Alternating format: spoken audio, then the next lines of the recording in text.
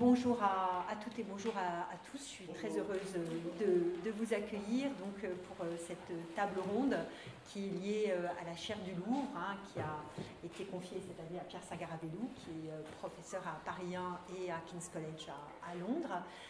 les fantômes du Louvre. Je suis Dominique de Fonréau et je suis conservateur général au Louvre et conseillère auprès de la présidente directrice Laurence Descartes. Et je suis très heureuse de cette table ronde parce qu'elle associe euh, euh, des élèves de Sciences Po et euh, des élèves de, l'école du Louvre et qu'elle fait écho à un projet qu'on avait pu monter grâce à vous, Pierre, merci infiniment, de masterclass qui avait eu lieu donc en janvier, hein, si je ne dis pas de bêtises, à l'école du Louvre, et qui avait réuni, qui avait réuni les étudiants et qui avait effectivement poser des questions euh, à Pierre par rapport à, la chaire du Louvre qui s'était tenue au Louvre en décembre 2022, donc à la, fin de l'année, à la, fin de l'année dernière. Donc je suis très heureuse de pouvoir présenter un peu le, non pas le résultat, parce que c'est pas du tout comme ça qu'on l'a préparé, mais plutôt euh, une sorte de, de réflexion d'après-coup Hein, en fait, il y a un peu de ça, il y a un peu de, l'après-coup, de, réflexion a posteriori, et qu'on préparait les uns et les autres. Alors, euh, Pierre Singaravelou donc, euh, est, professeur euh, d'histoire à, Paris 1 et à King's College. vous vous intéressez, Pierre, depuis longtemps à une réflexion sur l'histoire mondiale. Hein. vous avez d'ailleurs participé à, l'histoire mondiale de la France, hein, qui a été un de vos premiers projets, et vous vous intéressez de façon générale beaucoup à une manière de penser autrement euh, l'histoire euh, de la France et l'histoire du monde par des approches différentes et des approches différentes que vous essayez toujours d'être euh, non pas d'une certaine manière passéiste pour renouveler le passé, mais en partant du présent pour essayer de réfléchir à ce passé. C'est ce que vous avez fait, on en parlera tout à l'heure pour les, fantômes du Louvre. Très brièvement, je vais donc présenter les, différents les étudiants qui vont à l'annonce de leur nom euh, saluer, pour enfin, juste faire un petit signe de tête pour dire voilà. Donc Charlotte Azam est étudiante en première année de muséologie à l'école du Louvre et elle s'intéresse tout particulièrement au, rôle des musées euh, face au questionnement actuel et évidemment c'est un point euh, absolument passionnant. Juliette Dulst, et j'espère que je n'écorche pas votre nom en le disant, étudiante en première année de master à Sciences Po Paris dans l'école d'affaires publiques et euh, elle a été très intéressée, et comment ne pas l'être, par l'histoire du Louvre et de ses objets et collections euh, disparus. Théo Laurenceau est étudiant en première année de muséologie à l'école du Louvre et euh, je sais qu'il a fait un excellent mémoire, m'a-t-on dit, sur l'exposition des arts extra-occidentaux sous la direction de ma collègue et amie Françoise Martrus. Voilà. Claire Monneret, Claire est là, est actuellement étudiante en classe préparatoire au concours de conservateur du patrimoine. C'est le plus beau métier du monde, c'est pas moi qui voudrais le contraire. Voilà. Et elle a travaillé notamment euh, au Centre Pompidou, à la Réunion des musées nationaux et à France Muséum. Et donc, euh, et elle s'intéresse beaucoup à tous les enjeux contemporains du rôle des musées. Et puis Marie Moreau euh, est étudiante également en master politique culturelle à l'école d'affaires publiques de Sciences Po et elle s'intéresse beaucoup au rôle du musée dans la sphère publique. Donc merci beaucoup Merci beaucoup euh, à Marie euh, d'être là. Euh, alors on a des petites contraintes de, jauge, c'est pour ça qu'il y a peu de sièges, mais bon, tant qu'on ne nous interdit pas d'être là, profitons-en et merci d'être là. Peut-être très très rapidement et, sans, aller, sans aller trop loin, je voudrais rappeler, je vais surtout passer tout de suite la parole à, Pierre Sagaravelou, le sujet de cette thèse, qui, une thèse qui s'appelle Les fantômes du Louvre. Alors, euh, quand on dit fantôme du Louvre, on a un peu tendance à parler d'une série que seuls euh, les plus de 50 ans comme moi euh, peuvent, se souvenir, qui était Belphégor, parce qu'effectivement, il y a un côté Belphégor avec les fantômes. Mais en fait, ce n'est pas ces fantômes-là dont vous avez eu envie de, parler, mais c'est des fantômes des musées qui ont existé au Louvre, des musées ou des collections, mais qui sont souvent appelés musées, qui ont existé au Louvre, qui n'y existent plus, mais malgré tout, dont la trace demeure, puisque ce qu'on a coutume de dire ensemble quand on parle des fantômes, c'est que un fantôme, c'est pas un être qui a complètement disparu, parce que ça, un être complètement disparu, c'est plus un fantôme. Un fantôme, c'est quelqu'un ou quelque chose qui demeure. Donc peut-être euh, quelques mots, Pierre, pour commencer sur euh, l'idée de cette chaire que vous nous avez proposée et dont on a été très très heureux d'accepter. Merci beaucoup Dominique pour, l'invitation. Merci à tous les étudiants de, l'école du Louvre et de, Sciences Po d'avoir préparé cette, séance. Merci à vous d'être là et de, participer de notre point de vue à une espèce d'installation d'art contemporain. il faut absolument que je prenne une photo avant de partir. c'est sublime.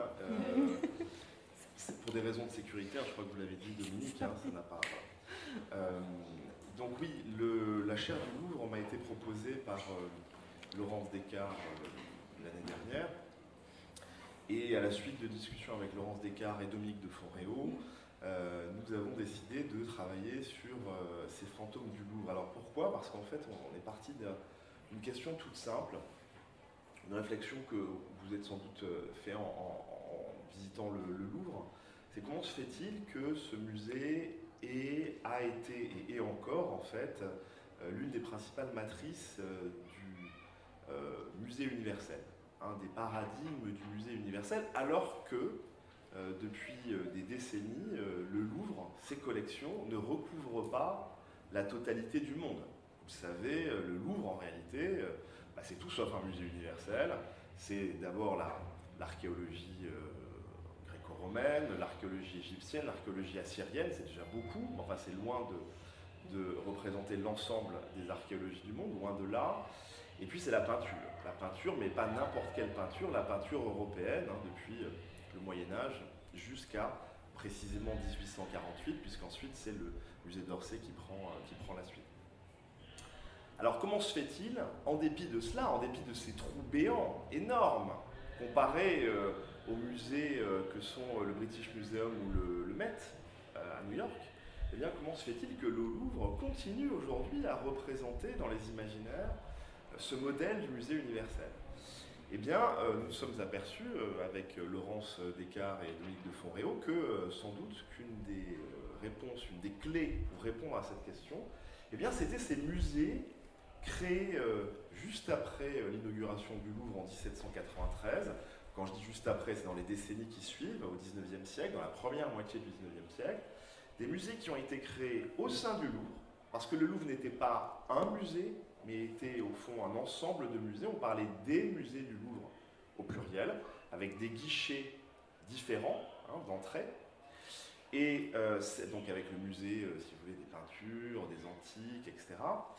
Et euh, ont été créés assez rapidement un musée de marine hein, qui avait vocation à eh bien, glorifier, expliquer, parce qu'il y avait une vocation pédagogique également, l'histoire de l'expansion maritime de la France dans le monde, mais aussi de la colonisation. Musée de marine qui va se développer à partir, assez, euh, disons lentement, à partir de 1827, il ouvrira ses portes en 1837, et puis ensuite, au milieu du 19e siècle, ouvre un musée euh, mexicain, qui va devenir un musée américain, donc des antiquités euh, américaines, un musée algérien qui est un musée qui rassemble en fait les antiquités romaines en Algérie, mais aussi en Tunisie et au Maroc. Il va y avoir une galerie espagnole, et ça c'est une révolution aussi, hein, parce que euh, évidemment aujourd'hui on se dit que la peinture espagnole est euh, ultra consacrée au même titre que euh, celle de l'Italie de la Renaissance ou des Flamands, et au fond bah, ça n'est pas du tout le cas au début du 19e siècle, et c'est un véritable coup de force qui est effectué en l'occurrence par Louis-Philippe, le roi des Français, en 1838, qui ouvre cette galerie espagnole, ce musée espagnol qui est consacré eh bien, à euh, tous les maîtres espagnols qui étaient assez peu connus, voire méprisés à l'époque par les critiques d'art français, qui considéraient que les Espagnols étaient des orientaux, hein, euh, donc qui n'étaient euh, pas suffisamment civilisés pour mériter d'être exposés au Louvre, eh bien, il, Louis-Philippe envoie une mission spéciale, une mission commando, qui est dirigée par le baron Lord Taylor, qui part comme ça euh, au milieu des années 1830 pour acheter le maximum de toiles de maîtres espagnols, des Velázquez, des Ribera, tous les grands peintres euh, espagnols euh, du siècle, d'or. il va revenir avec 450 toiles, dont il s'avère que un certain nombre seront soit des faux, des copies, avec beaucoup de mauvaises attributions. On pense qu'il y a beaucoup de Velázquez, en fait, il n'y en a quasiment pas. on pense qu'il y a, je sais pas 84 Zurbaran, en fait, il se trouve qu'il y en a une vingtaine. Bon, et euh, il n'empêche que ces tableaux euh, proviennent d'Espagne. même si un certain nombre d'entre eux sont en fait le fait d'artistes italiens, donc ça c'est génial, parce que vous avez comme ça des commentaires de critiques d'art du milieu du 19e siècle français qui inventent l'idée d'une école espagnole en se fondant sur des tableaux qui en fait ont été réalisés par les artistes italiens. Et, euh, et donc cette, cette euh, galerie espagnole, eh bien, elle euh, va jouer un rôle décisif dans... alors décisif, c'est discuté par, par les historiens, disons, il, y a, il y a débat, disons, elle va jouer un rôle dans le, la modernité picturale française, puisque un certain nombre d'artistes français vont être très influencés par à la fois directement la visite euh, de la galerie espagnole entre 1837 1838 et 1848, mais plus certainement par euh, l'observation de ces tableaux à travers les reproductions dans des gravures, euh, ou aussi des copies, puisque de très nombreuses copies, c'est très important dans l'histoire du de comprendre l'importance des copies. Ces tableaux ont été vus par assez peu de monde, en revanche ils ont été copiés des centaines et des centaines de fois, puis exposés, soit euh, dans les églises, en province, etc. Et donc, en fait, cette peinture circule également à travers euh, l'œuvre des copistes euh, qui jouent un rôle déterminant dans, cette, dans cette diffusion. Alors, cette galerie, pour en terminer là, parce que ce n'est pas un exposé sur la galerie espagnole, mais elle a un destin qui est quand même singulier, puisqu'en fait, avec la révolution de 1848, eh l'État français, au lieu de la République française, pour être plus précis, la Seconde République, euh, euh, décide de ne pas conserver cette fabuleuse collection de tableaux espagnols de 450 tableaux et elle la restitue pour des raisons euh, juridiques, hein, ça passe devant le Conseil d'État, comme ces tableaux ont été achetés par la liste civile et que en fait Louis-Philippe et sa famille exilés à Londres, en Angleterre, fait le tout pour les récupérer, eh bien il y parvient, Louis-Philippe récupère ces tableaux et ils sont vendus tous, sans exception, chez Christie's, euh, en 1853 et la moitié ont disparu dans la nature. La moitié ne sont plus localisées aujourd'hui. C'est pour ça que je vous dis, il y aurait sans doute 20, Ribér 20, sur les 85 attribués à ce moment-là, parce qu'en fait, certains ont disparu et on ne peut plus les expertiser. Donc, euh, donc ça fait partie du mystère, de la légende de cette galerie euh, espagnole. Donc outre cette galerie espagnole, eh bien, euh, il y a eu d'autres musées qui ont été créés, qui ont disparu et qui ont fait l'objet là aussi d'une petite étude au cours de cette chaire, comme le musée chinois par exemple. En fait, il y a eu plusieurs musées chinois au Louvre. Hein. Un premier musée au, milieu du 19e, puis un nouveau musée chinois qui est en fait le musée de céramique chinoise de, Grand Didier, qui a constitué la, plus riche collection de céramique à la fin, dans la deuxième moitié du 19e siècle. Euh, une salle japonaise également. Euh, voilà, donc toutes ces collections. Alors le musée de marine, vous le savez, puisqu'il devient musée euh, national de la marine moment de la Seconde Guerre mondiale. Pour le reste, eh bien, les collections sont transférées dans d'autres musées. Pas seulement dans des musées nationaux, comme vous pouvez l'imaginer, la collection de céramique chinoise de Grand Didier est transférée en grande partie au musée Guimet. En réalité, euh, ces collections vont aussi euh, alimenter euh, les musées de province, le musée de La Rochelle par exemple, le musée de Brest, etc., qui vont récupérer une partie de, ces musées. Et c'était donc important pour nous d'étudier ces musées qui sont ces, collections qui, vous l'avez dit Dominique, sont les fantômes du Louvre, parce que eux seuls permettent de comprendre comment le Louvre conserve cette aura globale, cette aura mondiale, cette aura universelle, euh, qu'en réalité, elle, euh, a, elle, elle, a, perdu, quand je dis en réalité elle a perdu, elle n'a pas perdu cette aura, mais alors qu'elle a perdu ses collections depuis un bon moment. Voilà. Merci beaucoup Pierre. Euh, ce qui est intéressant dans l'universalisme du Louvre, c'est que, et ça il l'a gardé, c'est que cet universalisme est au contraire de d'autres musées, celui de l'humanité tout entière. C'est-à-dire que le Louvre a eu, a, eu il y a toujours euh, cette ambition folle, en fait, hein, totalement utopique, de vouloir parler à tout le monde, à chacun et à chacune, à tous et à, toutes. Et ça, c'est quelque chose euh, qui, quand on travaille au Louvre, évidemment, euh, à la fois un peu terrorisant, mais aussi très enthousiasmant.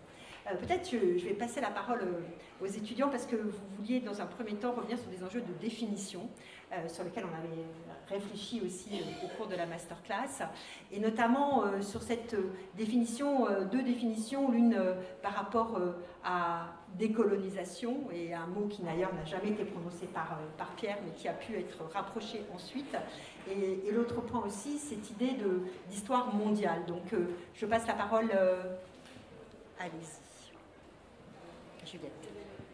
Euh, dans l'introduction de vos interventions lors de la chaire, euh, vous insistez beaucoup sur votre intention de repeupler le musée du Louvre en explorant les histoires donc, de ces musées disparus.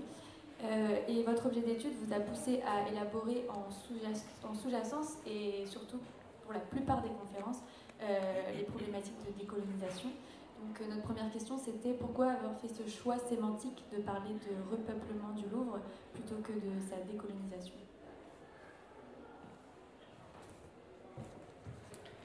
Merci. Oui, c'est vrai que repeupler, euh, repeupler le Louvre, c'est un petit peu contre-intuitif. Euh, eu égard à la tendance actuelle qui est plutôt dans le débat euh, intellectuel, hein, plus que dans les pratiques, de restituer. Repeupler, c'est un peu le contraire de restituer, d'une certaine manière. et, en fait, ça ne veut pas dire que repeupler c'est mieux que restituer ou moins bien, c'est simplement que la première chose, me semble-t-il, c'est d'adopter une grille de lecture, une grille d'analyse qui est adaptée au musée qui nous intéresse. Et c'est ça qui est important. Et là, en l'occurrence, euh, concernant le Louvre, la question des restitutions est euh, plutôt marginale. C'est-à-dire qu'évidemment qu'elle se pose, mais elle ne se pose pas de manière centrale. Il suffit de, je ne sais pas moi, vous prenez l'exemple euh, des marbres du Parthénon. Euh, il se trouve qu'il y en a au Louvre deux fragments, à ma connaissance, euh, qui ont été exhumés à la fin du 18, extrême fin du XVIIIe siècle par un certain Fauvel. Et, mais ce n'est pas un enjeu pour le Louvre. C'est-à-dire qu'en fait, en réalité, c'est plutôt au sein de la géopolitique. Alors vous savez qu'il y a des fragments du Parthénon un, peu partout en Europe. Il y en a à la Glyptothèque, à Munich. Il y en a, je crois, au Danemark, euh, et bien il y en a surtout, évidemment, au British Museum qui euh, possède euh, la, quasi-totalité de, ces fresques. Donc c'est une question qui se pose pour le British et non pas pour le, pour le Louvre. Et en réalité, eu égard à ce que je vous ai dit tout à l'heure sur les, ces collections disparues, il me semblait plus intéressant de d'adopter cette approche du repeuplement, si je puis dire, du Louvre, qui est au fond la démarche habituelle des historiens. Parce que qu'est-ce que l'histoire, au fond, à part euh, euh, tenter de euh, rendre présents les absents hein, Donc cette idée de repeupler pour les historiens, c'est pour ça que les historiens et les historiennes sont un peu désemparés face aux discussions, par exemple, sur le déboulonnage des statues. D'abord parce qu'on a envie de dire, est-ce que vous voulez vraiment des statues? Bon, et puis ensuite, si vous voulez des statues, euh, eh bien, plutôt que de les déboulonner, alors évidemment qu'il y a toujours des statues qu'il faut déboulonner, parce que c'est, on, est, tous d'accord sur le fait qu'il faut les déboulonner, mais peut-être que la question sur les statues, c'est plutôt euh, d'en, ériger de nouvelles. Euh, si, on se, si, on se place dans ce système-là de, mémoriel, disons.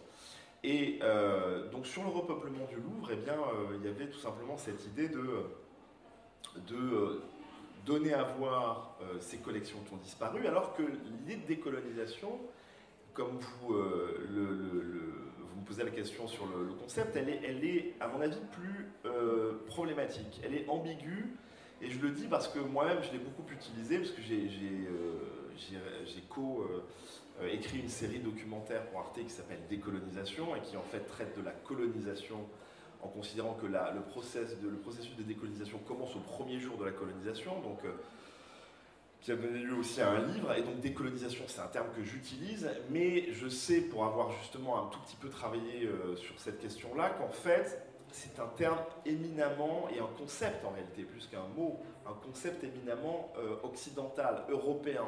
C'est-à-dire que l'idée même de décolonisation, euh, sous-entend le fait que eh l'émancipation a été conférée, octroyée par les colonisateurs à des populations décolonisées précisément, aux populations qui étaient colonisées et qui auraient d'une certaine manière euh, euh, bénéficié de manière passive de ce processus.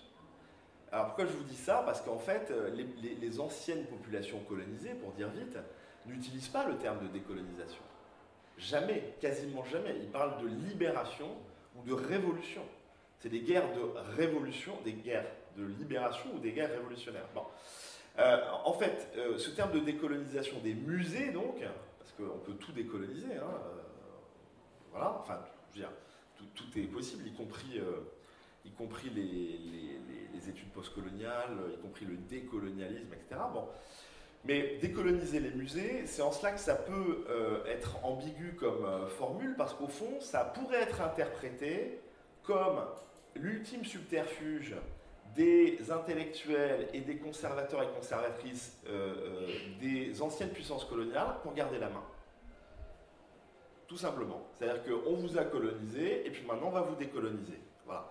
Donc c'est en ça que le terme de décolonisation voilà, peut apparaître à certains extrêmement radical euh, dans le discours politique. En réalité, il peut porter aussi, il peut être euh, si le phoné d'une forme de conservatisme. Donc, donc voilà, c'est pas forcément, même, si je vous dis, je l'ai utilisé évidemment en tant qu'historien pour désigner un processus historique. Donc c'est, voilà et c'est d'ailleurs euh, mon, collègue, mon Malik qui est directeur du musée Théodore Monod, d'ailleurs, vraiment réfute totalement cette, cette, appellation. C'est lui pour il questionne même, ce qui est très intéressant, comme ses collègues, il questionne même la notion musée à l'occidental. C'est ça que je trouve fascinant. C'est ça, et juste peut-être pour, pour ajouter un point là-dessus, sur la décolonisation, si vous poussez le concept jusqu'au bout, euh, dans ce qui nous est proposé aujourd'hui, décoloniser l'histoire, décoloniser les musées, on voit bien que euh, euh, il y a beaucoup de choses intéressantes derrière cela, derrière ces programmes, euh, voilà. Notamment s'intéresser à la dimension coloniale, à l'histoire coloniale de ces musées, on, pourra peut-être en reparler, à, aux provenances coloniales, etc., etc. Donc ça est fondamental. Et donc évidemment que l'idée n'est pas de critiquer tout ce qu'il y a derrière, ce qui pourrait être dénommé par cette injonction décolonisons les musées. Mais en même temps, euh, elle porte en elle euh, quelque chose qui est potentiellement euh, dangereux. Dangereux, alors pas seulement politiquement, mais épistémologiquement, pour lancer un mot un peu pompeux. c'est qu'en fait, cette idée de décolonisation des musées, ou de décolonisation de l'histoire, hein, au fond, c'est une idée qui suppose qu'à terme, on va revenir à une pureté originelle. Voilà. Et la pureté originelle, c'est l'ennemi mortel des chercheurs en sciences sociales. C'est là qu'il faut vraiment euh, euh, devenir méchant. Euh, et, donc ça, ça n'est pas possible parce que, si vous voulez, la pureté originelle, il n'y en a pas. C'est-à-dire que le, Louvre s'est construit en même temps que la colonisation. Donc ça n'a pas de sens de dire on va soit effacer, soit enlever, soit etc. donc c'est un, point aussi qui me paraît important. Vous vouliez compléter votre question par rapport à des enjeux de... Oui, définition, peut-être que je sais que vous vouliez évoquer cet enjeu de l'histoire mondiale. C'est bon, c'est bon, c'est bon, on va, tirer. Je suis au centre, mais c'est bon. J'essaie de ne pas me prendre les pieds dedans, ce qui est un sujet, mais c'est bon. Du coup, lors de la chaire du Louvre et précédemment... Parlez bien devant le micro parce que c'est enregistré, c'est pour ça ça Lors de la chaire du Louvre et lors de la série de conférences pour les mondes d'Orsay, vous êtes penché euh, sur l'étude des collections muséales euh, par le prisme donc, de cette histoire mondiale. Est-ce que vous pourriez un petit peu revenir sur ce concept et expliquer comment euh, ce choix d'étude est mis au service de l'étude de, ces collections muséales? Merci beaucoup. Alors, l'histoire mondiale, l'histoire globale, chacun aura sa définition. moi, je partirais peut-être d'un d'un constat assez simple, qui est que nous écrivons tous, euh, historiens de l'art, euh, historiennes, historiens, euh, sociologues, etc., nous, écrivons tous l'histoire de fragments. Nous, nous intéressons tous pardon, à des fragments d'histoire, d'histoire locale, d'histoire régionale, d'histoire nationale parfois. Et l'intérêt de l'histoire globale ou l'histoire mondiale, euh, son caractère indispensable réside dans le fait qu'en fait, elle est un des meilleurs moyens de donner du sens à cette étude des fragments. C'est-à-dire que c'est en cela qu'il est difficile de se passer au fond d'une approche globale et Et, je, il, faut, il, faut, euh, il, faut, expliquer par là que l'histoire globale, ce n'est pas l'histoire du monde, c'est pas seulement l'histoire de la mondialisation, c'est toute une série de démarches qui permettent de resituer votre objet dans un contexte plus large. L'histoire globale, c'est d'abord élargir la focale. C'est élargir la focale pour effectuer soit des comparaisons, des comparaisons entre différentes régions du monde, par exemple, qui permettent d'identifier éventuellement des homologies, hein, des ressemblances entre des phénomènes éloignés, mais c'est aussi élargir la focale pour euh, euh, analyser des connexions entre ces différentes régions, c'est des interactions, des circulations. Euh, et, donc cet élargissement de focale peut vous conduire aussi à, à, terme, hein, c'est possible en fait, à une inversion de perspective. Hein, donc ça aussi c'est quelque chose qui est permis par l'histoire globale. Et là aussi c'est quelque chose qui peut être très intéressant dans l'histoire des, musées. Donc au fond, l'histoire globale, l'histoire mondiale, c'est une analyse qui euh, n'est pas euh, suffisante en elle-même, parce qu'au fond, vous l'avez compris, c'est une échelle, l'échelle globale, l'échelle mondiale. Euh, et au fond, il n'y a pas d'échelle idéale en, histoire, ça n'existe pas, même si Fernand Brodel disait que le monde était l'échelle la, plus pertinente. En réalité, on ne peut pas écrire de l'histoire euh, globale sans euh, les histoires nationales, sans l'histoire locale. Bon, évidemment. Donc, ce sont des histoires euh, qui se complètent, mais qui se, se remettent en question aussi les unes les autres, et c'est ça qui est particulièrement, particulièrement riche. Et en fait, donc, cette histoire mondiale donne sens, je le disais en commençant, à ces fragments d'histoire que nous étudions en général quotidiennement, que ce soit, je sais pas moi, un tableau, une école artistique, euh, euh, un artiste, etc. Alors, comment est-ce qu'on euh, est qu'on adapte, comment est-ce qu'on utilise cette histoire globale cette histoire mondiale à l'histoire des musées. En fait, c'est pas du tout une chose nouvelle. Les conservatrices, les conservateurs de, musées, les historiennes et les historiens de l'art utilisent ces outils depuis longtemps, en fait. tous ceux qui s'intéressent à l'histoire des collections bah, pratiquent. Alors, sans le savoir depuis longtemps, et puis depuis un certain temps, il, affirme, il revendique une histoire connectée euh, des collections, par exemple. Euh, en travaillant de plus en plus évidemment sur les provenances, sur les biographies d'œuvres, hein, ça prend quand même de plus en plus euh, d'importance. Et ça n'est pas nouveau, je, pense, s'agissant du Louvre, aux travaux de Geneviève Lacambre, qui, je ne sais plus, je pensais au milieu des années 1960, elle est nommée au Louvre très jeune conservatrice au département des peintures. Elle est spécialiste du Japon et elle va euh, travailler euh, sur euh, précisément la, trajectoire, l'itinéraire de ces œuvres asiatiques depuis leur lieu de production jusqu'au musée européen. Alors ça c'est une manière.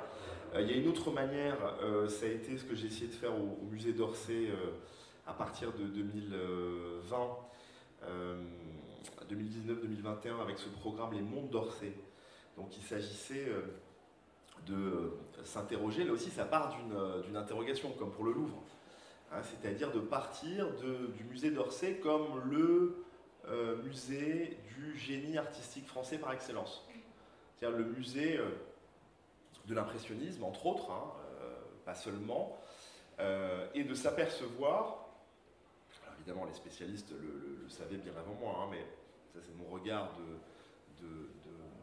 d'historien qui débarque euh, au musée d'Orsay.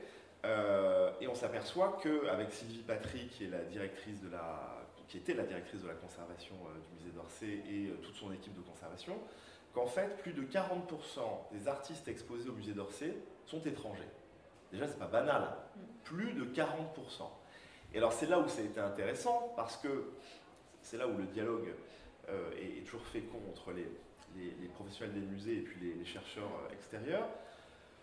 On a commencé à farfouiller un peu dans les réserves et on a découvert toute une série d'artistes des quatre coins du monde, d'artistes du 19e, mais en réalité euh, parfois même jusqu'à la Seconde Guerre mondiale, qui étaient plus ou moins connus des conservateurs avec des découvertes. Hein. et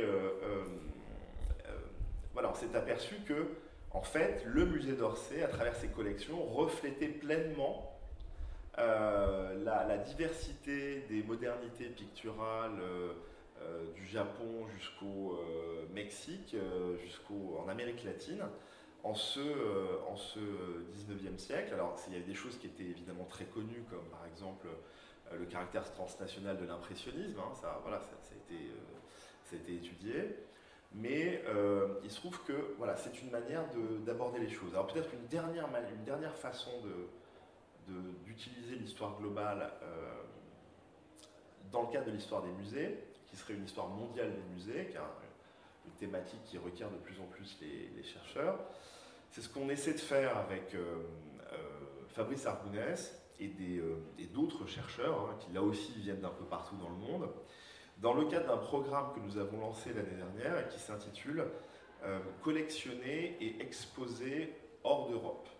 Collectionner et exposer hors d'Europe, c'est-à-dire, ça part de l'idée de euh, qui, paraît assez évidente, mais qui ça n'a jamais été euh, véritablement mise en œuvre, euh, qu'il convient de se départir du paradigme envahissant du musée européen, qui a d'autres formes de collection et d'autres formes d'exposition. et on a commencé à réunir des chercheurs du monde entier qui travaillent, par exemple, sur les cases patrimoniales au Cameroun, comment euh, dans une partie de l'Afrique, eh bien, euh, il y a des pratiques évidemment de collection et de monstration spécifiques, euh, en particulier dans ces cases patrimoniales, mais il y a d'autres formes dans cette région du monde. on travaille également sur, avec des chercheurs spécialisés sur la manière dont les temples en Asie en fait, ont longtemps constitué les, les principaux lieux de, collection et de monstration des œuvres d'art. Et euh, en fait, c'est assez intéressant. Vous pouvez faire le test. Euh, parce que ça, ça peut vous paraître un peu comme ça, euh, non pas anecdotique, mais un peu vieillot ou obsolète. Et faites le test avec un, collègue ou un ami indien de l'Inde, qui, en lui demandant quelle est son œuvre d'art préférée, œuvre d'art indienne, eh bien, la plupart d'entre eux quand je dis la plupart, en fait, c'est la totalité normalement, vont vous vont citer une œuvre d'art euh, qui est dans un temple, pas dans un musée.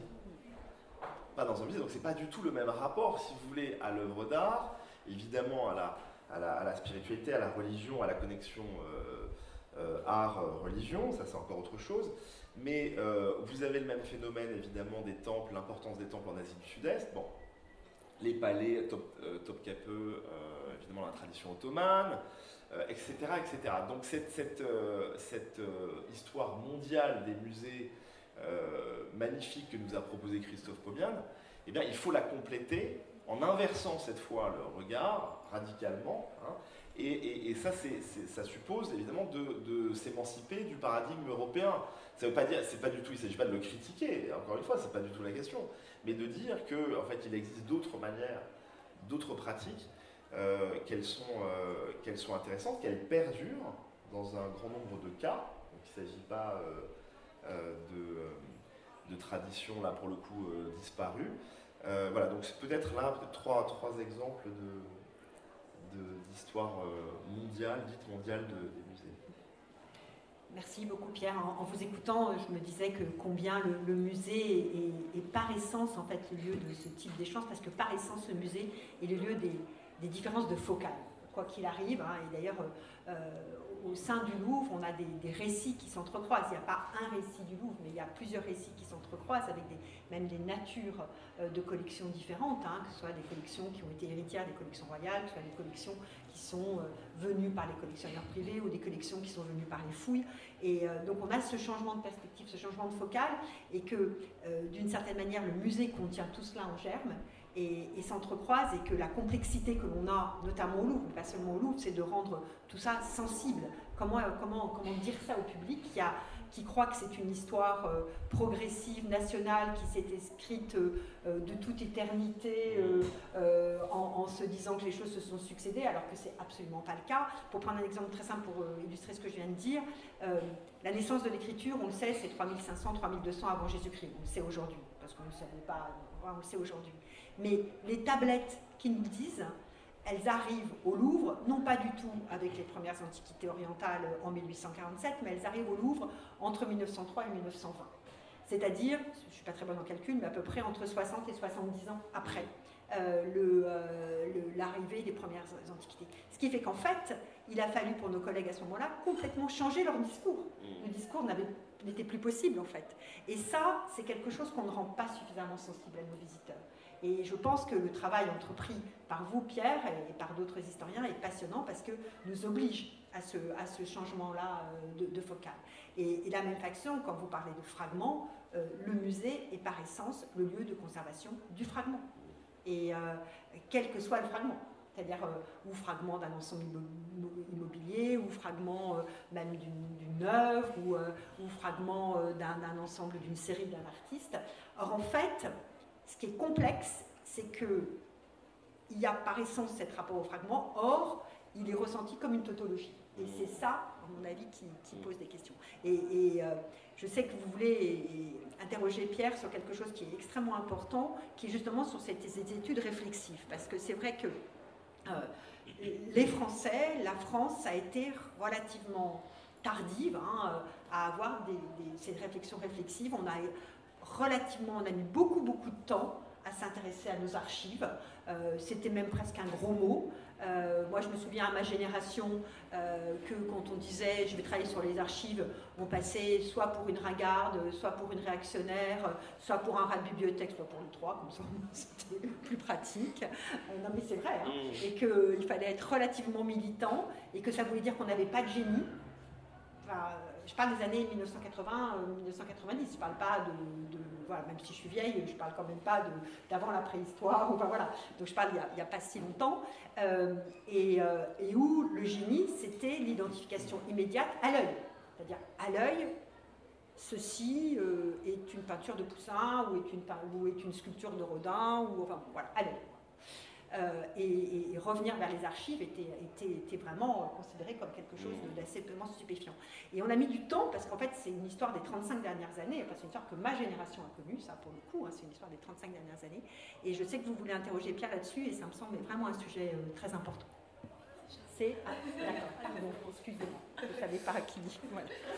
Comment vous étiez répartis Je pense que vous avez déjà présenté de manière assez générale Pardon. la manière dont voulais vous interroger là-dessus. Et euh, du coup, on se demandait euh, justement euh, s'il y avait des chercheurs donc, plutôt anglo-saxons ou allemands qui ont peut-être traité un, peu plus en ces problématiques-là, qui avaient pu jouer un rôle dans votre volonté de, traiter l'étude des collections muséales par une étude approfondie des archives, comme ça a été le cas en décembre 2022.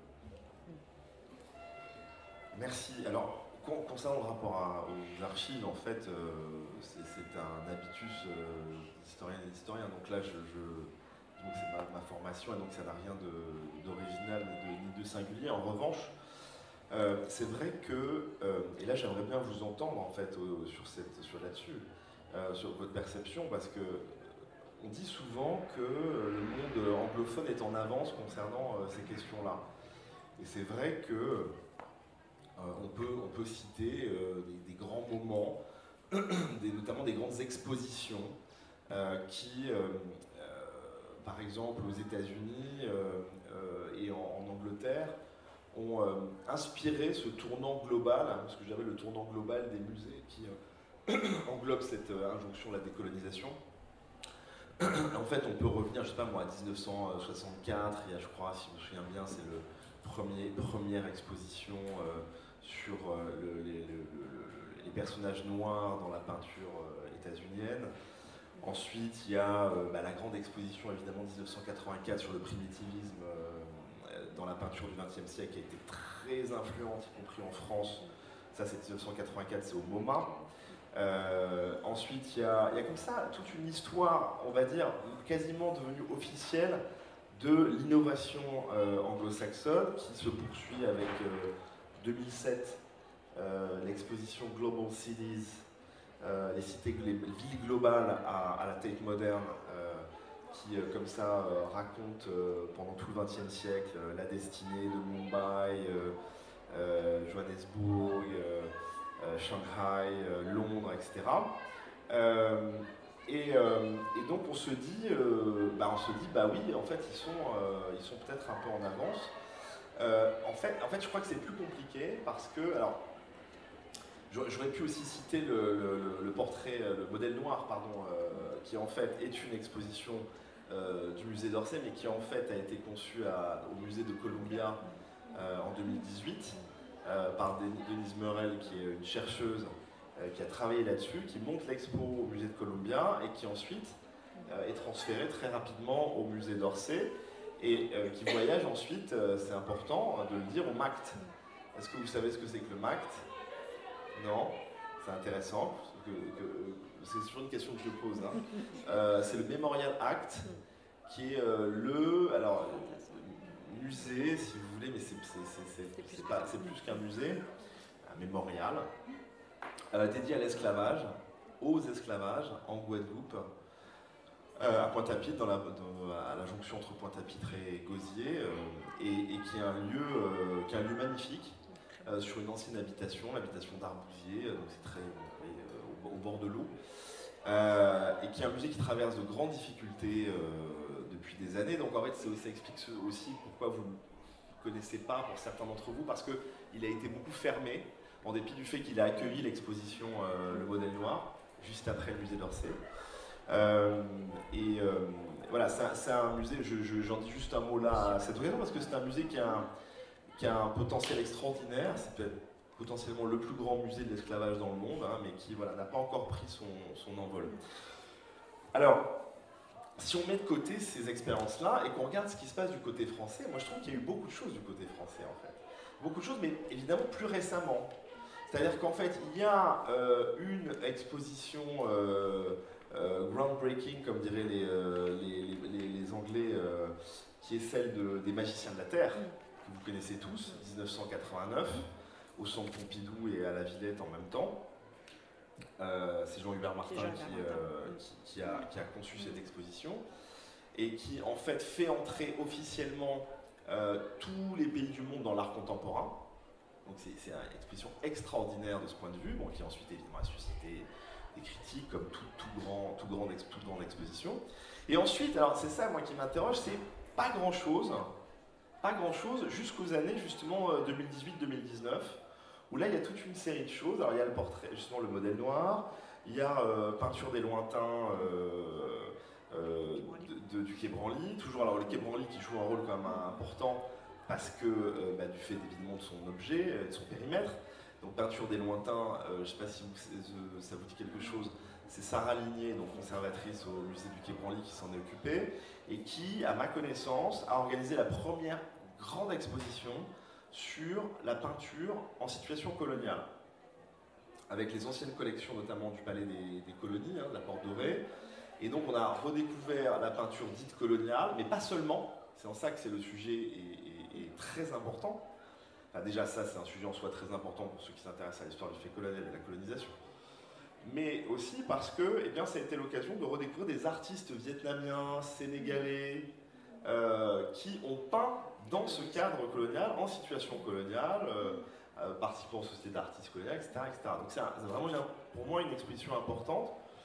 Et, et au même moment, pardonnez-moi, le, le, le Quai Branly, organise une expo aussi qui, euh, qui change la donne pour moi, qui est ouvrir l'album du, monde au Louvre Abu Dhabi et que vous pouvez aujourd'hui euh, euh, découvrir dans une nouvelle version évidemment, parce que les équipes ont travaillé depuis, au Quai Branly, qui est une histoire mondiale de la photographie. Et ça c'est un champ, c'est pour moi, j'insiste sur cet exemple parce que on voit là des musées qui sont à la pointe de la recherche dans ces domaines-là et qui euh, parviennent à réunir les meilleurs chercheurs du monde entier pour travailler sur ces questions-là euh, et, qui euh, donnent le là d'une certaine manière.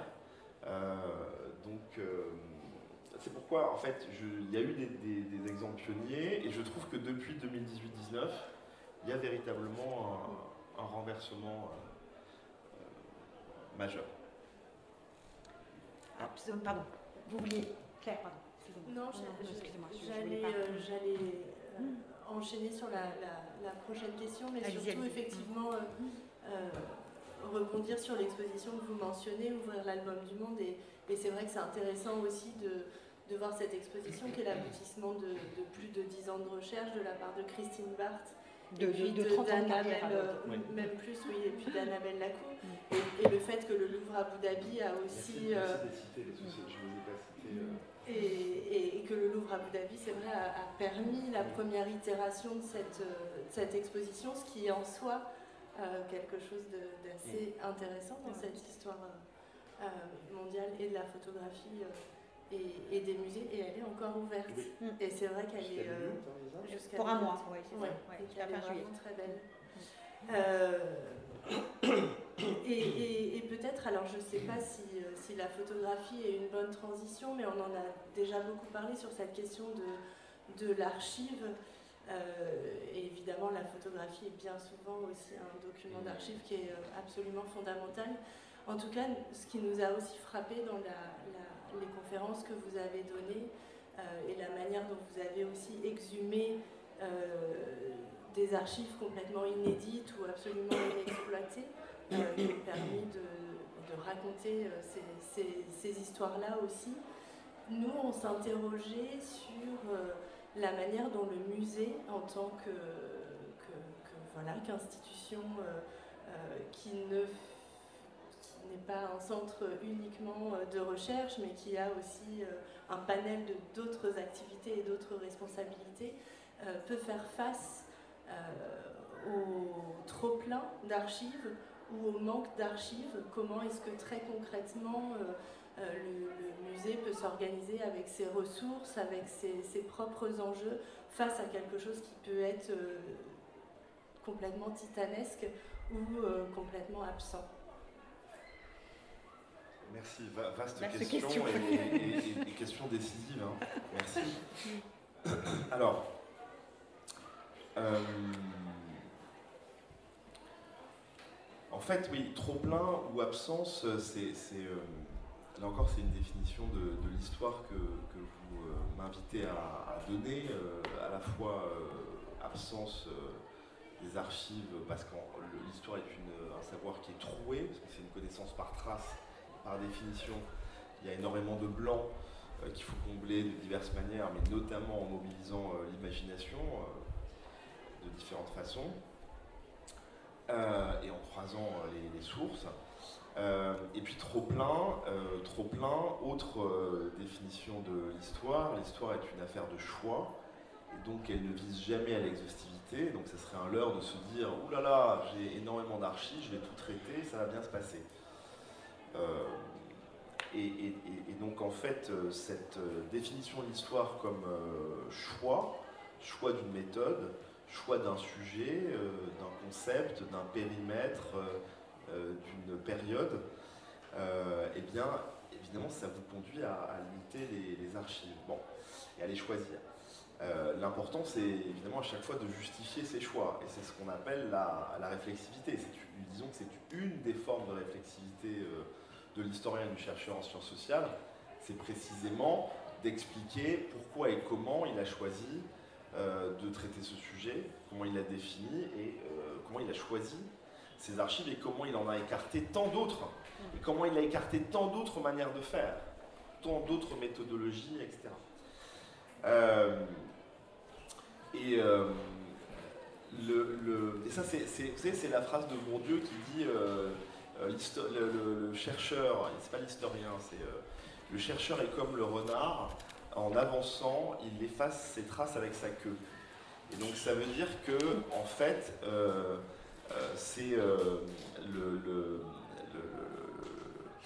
on a toujours là, cette illusion rétrospective du produit fini. C'est-à-dire qu'un chercheur, soit en histoire de l'art ou en sociologie, ben, la plupart du temps, il vous fournit ses résultats mais euh, il ne prend pas soin eh bien, vous faire entrer, alors aujourd'hui de plus en plus, hein, là je caricature, euh, aujourd'hui euh, c'est bien, disons que c'est un des, tendances les plus intéressantes des sciences sociales, c'est précisément les chercheurs ouvrent grand leur, leur, petite cuisine, donc les conditions de production de la recherche, comment ils ont procédé, parfois même en se mettant en scène, euh, et, donc, on, arrive à comprendre eh bien, quelles sont les hypothèses qui ont été envisagées puis écartées, euh, les impasses, euh, les limites, etc., etc. Bon.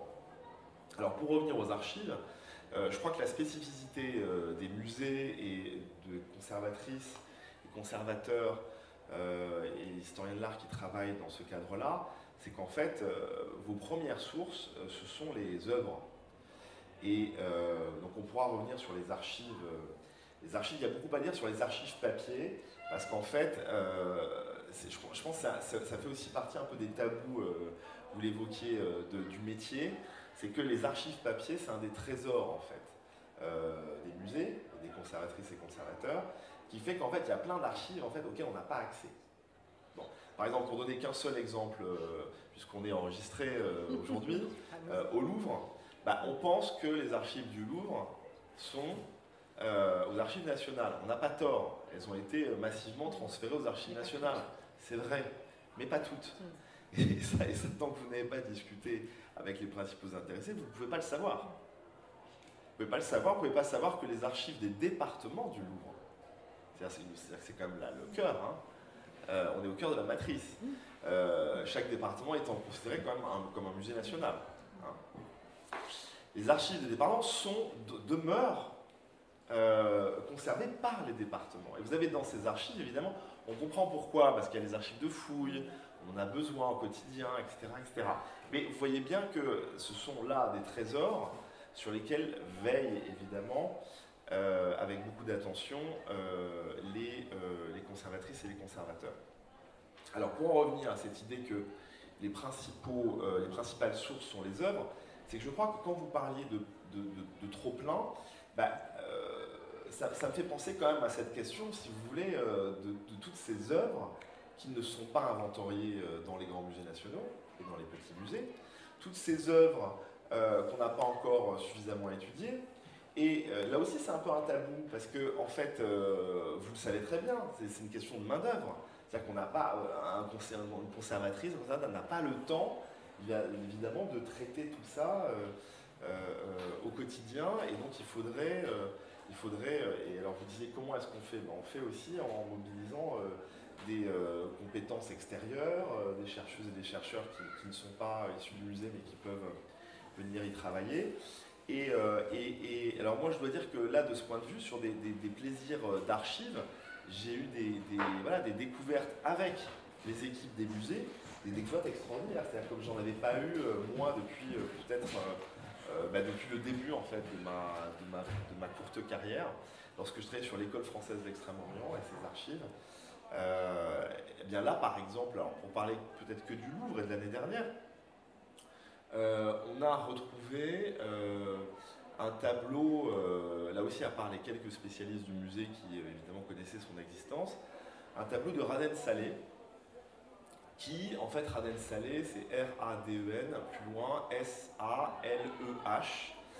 Et il se trouve que c'est le plus grand peintre, quand je dis peintre, c'est du point de vue de la consécration euh, aujourd'hui, euh, indonésien. C'est un aristocrate euh, javanais qui, en fait, et quand je dis le plus grand, c'est aussi celui dont la, cote est le plus élevée aujourd'hui, tableau à 10 millions d'euros, etc. Et ça va cesser d'augmenter, hein, c'est-à-dire que ça, va, ça explose ce peintre, en fait, pourquoi est-ce que le Louvre possède euh, euh, un tableau de Raden Salé Eh bien parce qu'il a euh, travaillé à Paris pendant trois ans, entre 1845 et 1848. Et il a peint une douzaine de tableaux à Paris. Il, était, il a notamment travaillé dans l'atelier d'Horace Vernet. Et ce jeune aristocrate javanais, en fait, euh, il, a eu il, avait beaucoup de, il avait un réseau très important, et donc ce qui fait qu'il a été reçu aussi par, euh, par Louis-Philippe à la cour. Et Louis-Philippe lui a acheté deux tableaux. Et ces deux tableaux, Louis-Philippe les a euh, déposés au Louvre, dont ce tableau, d'accord Ce tableau qui est une chasse aux cerfs. C'est intitulé comme ça, chasse aux cerfs. Et ce tableau, en fait, a intéressé tellement les critiques d'art de l'époque et les. Enfin, Disons, là je suis un peu euh, médisant parce qu'en fait il, a, il intéressait vraiment les critiques d'art de l'époque. Euh, Gauthier en parle. Gauthier en parle. En parle. Euh, ils sont fascinés par ce tableau qui était exposé en fait au, salon de 1848. Le dernier salon qui a lieu au, Louvre. Et donc il fascine les critiques. Et ensuite, il est déposé au Louvre, au musée du Louvre. Et là, les conservateurs s'en détournent Et en fait, ils vont le céder, le prêter d'abord au dépôt des œuvres d'art du ministère de la Guerre, puis ensuite dans un autre dépôt, et il a, atterri au début du XXe siècle. C'est un chef-d'œuvre absolu, si vous voulez, du point de vue euh, de l'histoire de l'art mondial. Hein. Il, a, il, a, alors, il a atterri dans une petite commune du Cher euh, de 9000 habitants, où il est encore aujourd'hui. Encore aujourd'hui. Alors je ne vous cache pas que euh, depuis un certain temps, le Louvre a envoyé euh, des équipes militaires pour le surveiller en permanence jusqu'à... non, non, c'est une blague. Mais je veux dire, le Louvre maintenant sait évidemment a lancé la, la, procédure hein, de, ah retour de, dépôt. de retour de dépôt. Mais en fait, pourquoi est-ce que ce tableau est si intéressant? Eh bien parce que, en, gros, hein, il représente donc un, javanais sur un buffle noir qui euh, chasse le cerf et qui affronte un euh, tigre. D'accord? Et il se trouve qu'en fait, c'est pour ça que c'est savoureux que Louis-Philippe l'ait euh, acheté et l'ait intégré dans, ses collections, collection du Louvre. C'est parce qu'en fait, il se trouve que, selon les spécialistes, c'est un tableau anticolonialiste. C'est un tableau anticolonialiste parce qu'il représente une cérémonie traditionnelle javanaise, le rampog, qui est une cérémonie où en fait, euh, rituellement, euh, les euh, aristocrates javanais affrontent des, enfin, pardon, font combattre des buffles avec des, avec des tigres. Et les tigres représentent, sont l'emblème, si vous voulez, de la compagnie des Indes néerlandaises, donc les colonisateurs de l'actuelle Indonésie. Hein. et le buffle noir représente le peuple, le peuple javanais. Bon. Et euh, donc tout ça pour dire que euh, ça, ça a été voilà, une découverte, euh, une découverte de, l'année dernière. Et puis autre, peut-être autre découverte pour vous dire à quel point la, collaboration entre, avec les équipes du Louvre est, est, indispensable et que le travail s'actualise en permanence. en travaillant donc l'année dernière sur le musée chinois et les œuvres chinoises du Louvre, je suis tombé sur un, album de euh, vues euh, du palais d'été, le Yuan Minuan. Vous savez, ce palais d'été euh, qui a été ravagé par les troupes britanniques et françaises, les troupes britanniques ayant mis le feu au palais d'été en 1860. Hein, vous savez, c'est la seconde guerre de l'opium. Et ce palais d'été a été pillé, c'est très important dans l'histoire de l'art mondial, puisque plus d'un million d'œuvres chinoises ont été volées à ce moment-là et distribuées dans le monde entier mais dans le monde entier littéralement, hein, y compris d'ailleurs en Chine, hein, puisque beaucoup d'œuvres euh, ont, alimenté les collections privées chinoises, ce qu'on ne dit pas, mais ce qui est très important, évidemment. Et euh, donc je tombe sur cet album des 40 vues du Palais d'été. Tout de suite, ça, me, ça évidemment m'interpelle, parce que ces 40 vues du Palais d'été, c'est un chef-d'œuvre absolu, unique, unique, euh, réalisé par des artistes euh, peintre et calligraphe au milieu du XVIIIe siècle, pour le compte de Qianlong, l'empereur. C'est une œuvre unique que l'empereur possédait dans sa chambre, que seul lui et sa famille pouvaient contempler, d'accord? Et qui, en fait, est aujourd'hui conservée à la Bibliothèque nationale de France. Donc, sur l'histoire globale du Louvre, hein, l'histoire globale de la BNF, il va falloir aussi euh, euh, s'y mettre. Et c'est une œuvre, mais unique. C'est-à-dire que ça ne vaut pas 10 milliards d'euros, ça ne vaut pas 100 milliards d'euros. Ça n'a pas de valeur, en fait les manuscrits coréens, vous voyez, c'est du même. Voilà. Et la BNF, évidemment, communique très très peu là-dessus parce qu'il ne faut, pas non plus trop, trop, trop, en faire. Et elle ne les prête pas, et elle ne les. Euh, voilà. Euh, il se trouve qu'on les connaît évidemment parce que ces, euh, ces 40 vues ont été reproduites par des milliers de gravures qui circulaient au sein de l'aristocratie chinoise et qui, elles, n'avaient pas accès aux vues, parce qu'elles étaient dans la chambre de l'empereur. Mais elles pouvaient contempler les gravures, les copies. Et donc là, je me dis, oh, Banco, ce sont des euh, copies originales de ces vues, mais cette fois peintes, hein, pas des gravures, d'accord euh, Et euh, qui ont été pillées en 1860 au Palais d'été. Vous voyez, en plus, on a toujours un petit frisson, quoi, quand on trouve un truc, en plus, ça a été pillé, il y a une histoire, évidemment, bon, voilà. Et, et, là, je m'apprête à faire les conférences au Louvre, et j'en parle à Jean-Baptiste Clé, qui est conservateur des, œuvres euh, chinoises et asiatiques au Louvre. Et euh, il me dit, ah bah, c'est intéressant de vous parler de ça parce qu'en en fait, euh, ça fait un mois qu'on a, ça fait simplement un mois qu'on sait d'où vient cet album. Je dis, ah bon? Et alors? Heureusement, c'était avant ma conférence, parce que j'aurais eu. il me dit, bah, elles ont pas été, nous avons la preuve qu'elles ne sont pas issues du pillage du Palais d'été en 1860, mais qu'il s'agit d'un article d'exportation qui a été commandé par euh, les Européens, pour les Européens, pour les Occidentaux plutôt, on ne sait pas si c'est euh, des Européens ou des Américains. Et pourquoi? Eh bien parce qu'en analysant avec Camille Schmidt, qui est une des, techniciennes euh, chercheuses du Louvre, en analysant le papier, le papier est d'origine européenne. Déjà, c'est un petit peu problématique. la forme album, il y a très peu de formes album hein, à cette époque dans les œuvres chinoises. Et troisièmement, euh, euh, l'écriture qui est de gauche à droite, là, évidemment, euh, ils peuvent affirmer que c'est une œuvre d'exportation qui a été réalisée eh bien, après le, le, sac du palais d'été. Et donc il y en a eu comme ça un certain nombre, mais disons qu'on n'en connaît pas tant que ça. Et cette œuvre, pour la petite histoire, hein, elle, elle, provient d'un don qui est le don d'Adolphe Thiers, que vous connaissez par ailleurs, qui possédait une grande collection avec son épouse, Madame et Thiers. Et sa belle-sœur. Et sa belle-sœur. Et sa belle-sœur. oui, et sa belle-sœur. qu'il a cédé au euh, musée du Louvre. Voilà, donc deux exemples d'archives, de, de, si vous voulez, de sources, euh, qu'on ne peut décrypter qu'en travaillant euh, évidemment ensemble et en sachant que voilà, il y, en a, il y en a comme ça des, des, centaines, des milliers encore dans les, dans les réserves et que c'est aussi une affaire de choix parce qu'on ne peut pas tout traiter tout de suite, mais que c'est très prometteur. Vous voulez continuer, Claire Pardon? La parole. C'était juste simplement, on est à Fontainebleau, à donc parler du sac du palais d'été, alors que. Bien sûr. Juste en dessous. Le musée chinois. Il y a le musée chinois. Non, mais voilà, je dis je dis simplement pour ne pas, ah pour, ne pas l'oublier, et c'est important de, le redire.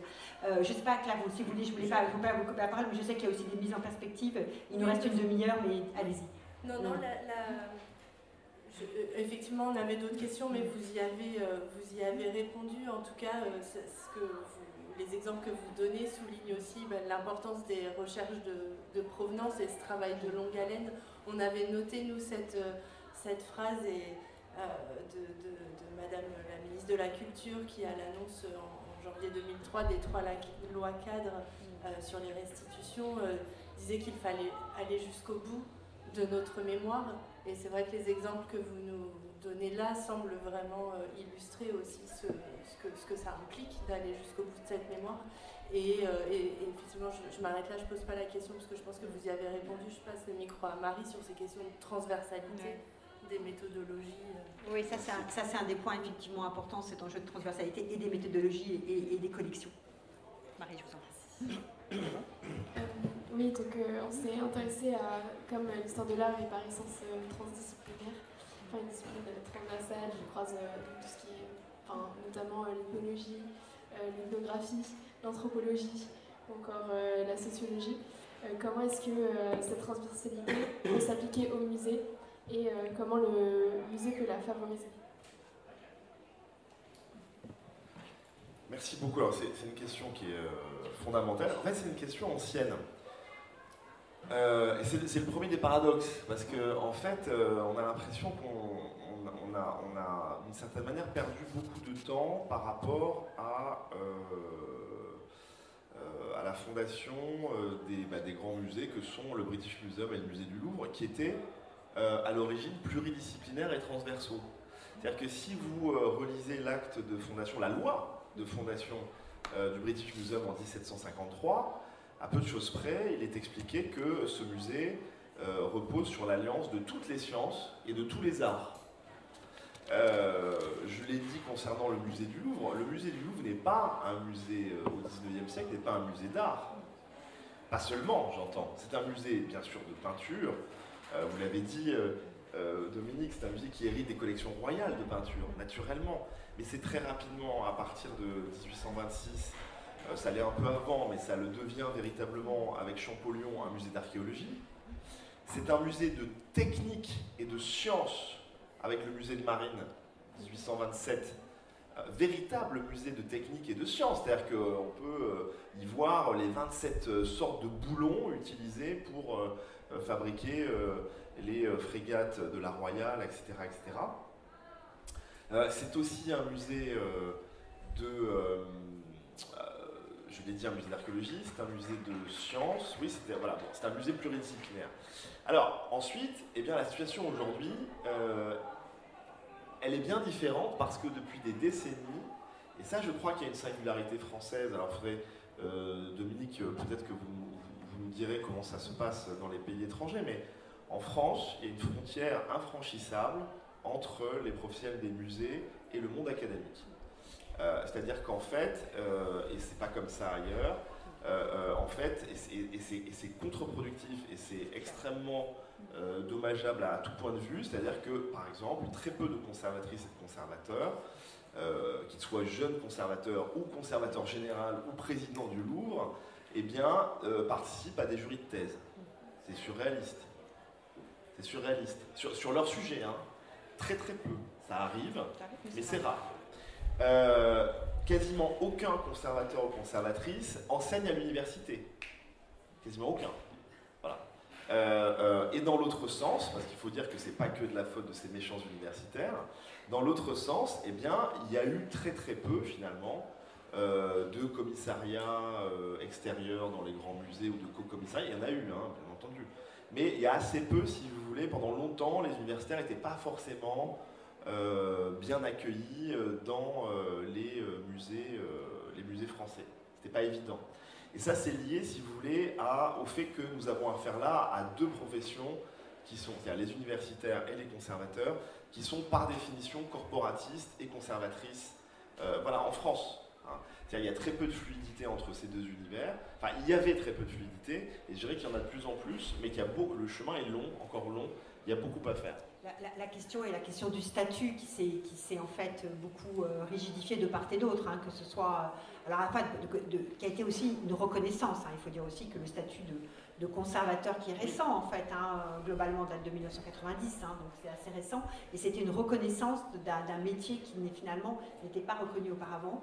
Mais c'est vrai que ça s'est relativement rigidifié, et de la même façon, le CNU, on peut le dire quand même, euh, a aussi un tout petit peu rigidifié les, les, différents éléments. Chaque fois qu'on a euh, des étudiants, Annick Chatin, qui est directrice des études de l'école du Louvre, qui me fait face, assise là-bas, le sait. Chaque fois qu'on a des étudiants qui travaillent sur des disciplines transversales, on sait très bien qu'ils vont se faire flinguer, pardon parler comme ça, excusez-moi, par, euh, par le CNU, parce qu'on euh, ne saura pas où les ranger et que c'est bien compliqué, vous comprenez, il faut que vous choisissiez, etc. Donc ça, en fait, c'est un bien qui est devenu un mal parce que ça s'est rigidifié et que depuis, depuis quelques années, ça s'est d'autant plus rigidifié pardon, je le dis en tant que fonctionnaire, je le dis avec mesure, pour de manière comme on est enregistré, parce qu'on a un malthusianisme euh, euh, financier et gestionnaire. Tant, tant qu'il n'y avait pas ce malthusianisme-là, s'il y avait des postes de conservateurs, s'il y avait des postes de professeurs et de maîtres de conférences, à ce moment-là, ce serait beaucoup plus facile d'avoir la fluidité. Aujourd'hui, pardon de le dire, mais je, suis obligée de le dire, et, bien sûr en espérant que ça change, on est tellement contraint dans les postes euh, des uns et des autres que le passage n'est pas possible. Et je pense que le seul moyen, c'est de, libérer cela, qui n'est pas forcément, euh, d'une certaine manière, comme certains en ont la tentation, d'oublier euh, ces recrutements, parce que moi je reste attachée, je le dis, hein, au, concours national anonyme, anonymisé, parce que quand même le concours national, vous le préparez Claire, mais le concours national anonymisé, c'est quand même le fait que tout le monde peut arriver, même des gens qui ne sont pas forcément euh, le meilleur élève euh, du professeur ou de la professeure d'histoire de l'art. Donc moi, je suis très attachée à ces concours-là, de part et d'autre. Hein, ça, ça me semble extrêmement important.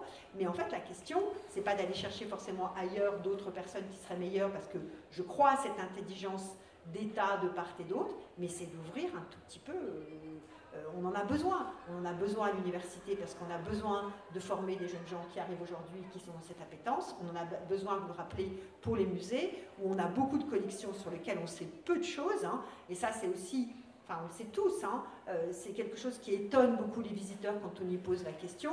Ils pensent que c'est parce qu'on ne travaille pas. Or, c'est pas parce qu'on ne travaille pas. Mais il y a, pour la plupart de nos œuvres, on ne sait pas tout. On sait même très peu de choses pour la plupart de nos œuvres de musée, parce qu'en fait, chacune devrait permettrait d'écrire des, des, centaines et des centaines et des milliers de pages. Donc ça, je crois que ça passe forcément par rapport à l'ouverture, mais je ne voudrais pas, ça je le dis, que ce soit casser quelque chose qui est quand même de l'ordre de, l'excellence et qui est sorte aussi de la, du mérite. Parce que sinon, si on, oublie ces concours nationaux, on va avoir que euh, ben, euh, les privilégiés des mandarins. Voilà et c'est pas forcément ce qu'il y a de bien. Mm. Et c'est pas forcément c'est facile pour moi de le dire aujourd'hui parce que comme je suis âgée, je peux le dire plus facilement que j'aurais pu le dire il y a quelques années.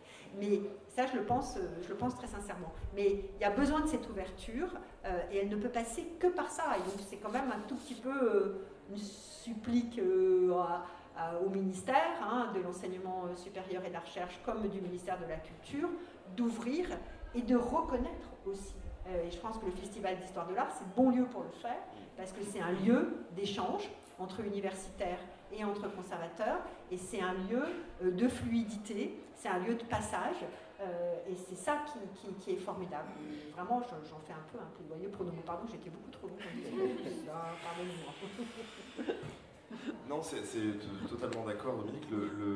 mais cette transversalité, elle n'est pas évidente. C'est-à-dire que moi, je, me rappelle d'un projet d'exposition, d'une exposition même, euh, dont j'ai été euh, commissaire, co-commissaire, euh, qui s'appelait Le Monde vu d'Asie et qui était une exposition sur les cartes, les, les, cartes asiatiques, donc les traditions cartographiques asiatiques. qui donc a eu lieu au musée Guimet en 2018. Et en fait, ça, ça n'avait rien d'évident, et c'est la décision de la présidente d'alors, Sophie Macariou, qui a tout changé. Parce qu'au début, euh, en fait, à vrai dire, c'est la première fois qu'un musée d'art accueille une, collection, une exposition de cartographie. Alors ça a l'air comme ça euh, banal, mais jusque-là, en fait, les expositions euh, de, cartes avaient lieu dans les bibliothèques, et les bibliothèques nationales. Vous vous souvenez sans doute de la grande exposition Portulan à la Bibliothèque nationale de France. Bon. Et donc on considère que ce sont des documents, documents scientifiques, qui n'ont rien à faire dans des musées d'art. Et euh, il se trouve qu'on a réussi à convaincre Sophie Macariou euh, euh, d'organiser cette exposition. Elle s'est aperçue elle-même, ça c'est le second effet très intéressant de ce type de, rencontre, que le musée Guimet possédait lui-même des fonds cartographiques dans ses réserves, qui n'avaient jamais été exploités parce qu'on considérait que c'était de la documentation et non pas des œuvres. Et en fait, on s'aperçoit, eh bien, euh, évidemment, il n'y avait pas que ces fonds-là, hein, il y avait des collections d'un peu partout qui ont été exposées à à ce moment-là. On s'aperçoit que ce sont de véritables œuvres d'art, euh, sublimes, très différentes, euh, de la cartographie Jane en Inde jusqu'à la cartographie coréenne, voilà, avec des esthétiques très différentes, des traditions scientifiques très différentes. Et en fait, là aussi, c'est intéressant parce que ça nous permet un, autre déplacement, cette fois à l'université. Vous voyez, le premier déplacement dans, le monde des musées, ah, un, musée d'art peut organiser une expo cartographique, c'est bizarre. Euh, et dans l'université, eh bien, le déplacement, c'est, euh, eh bien, il faut considérer ces cartes asiatiques comme des cartes scientifiques.